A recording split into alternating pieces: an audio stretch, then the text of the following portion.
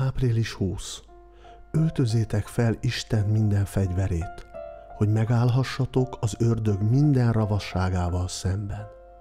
Efézus 6.11 Óvakodjunk attól, hogy elhanyagoljuk a titkos imát és Isten igéjének tanulmányozását. Ezek a te fegyvereid az ellen, aki azért küzd, hogy akadályozzon előrehaladásodban a menny felé. Az ima és a Biblia tanulmányozás elhanyagolása könnyebbé teszi sátán munkáját. A lélek kérlelésével szembeni első ellenállás utat készít neki. A szív megkeményedik, és a lelkismeret szava elhalkul. A kísértéseknek való ellenállás viszont segíti a további ellenállást.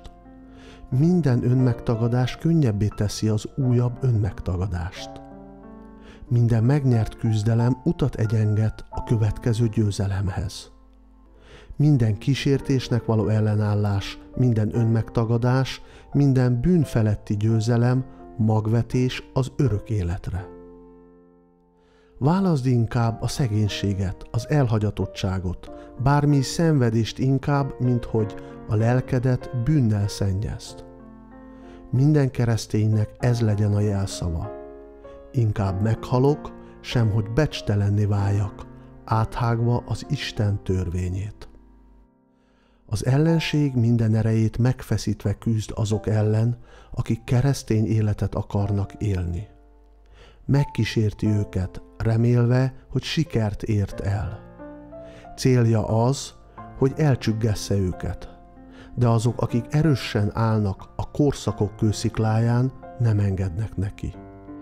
Az üdvözítő azért jött a földre, hogy minden fáradt, megkísértett léleknek segítséget és erőt hozzon a kísértések leküzdésére. Minden inségben elegendő erő áll a rendelkezésükre azoknak, akik harcolnak a kísértések ellen. Üzenet az ifjúságnak.